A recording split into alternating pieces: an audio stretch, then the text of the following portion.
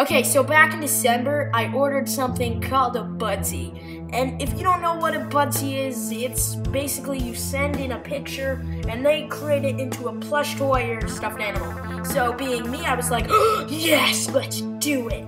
So in December, I ordered a Budsy of my character that you are seeing on the screen right now. And it finally came today. Okay, it's finally here. I'm opening this up. Really excited. Okay. Okay. Okay, this is the drawing that I made. You can like barely see it. It's the drawing. Huh? no. Oh my god! No. No way. This is the most incredible thing in the world. I am like, oh my god, I am so happy. This is like the best. It's it's me. It's my character. It's Jack. I am the proud owner of my own plushie. I am really, oh my god, this is the best.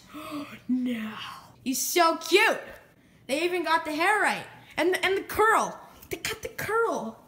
And they got the this thing right. I was I was worried. I was worried they wouldn't. They got the neck and they got him and it's it's the best. It's it's the best. this is incredible. I think that you should totally buy a Budsy. They could do some really cool stuff with Tony V Tunes or Jake B or Conan X Boba.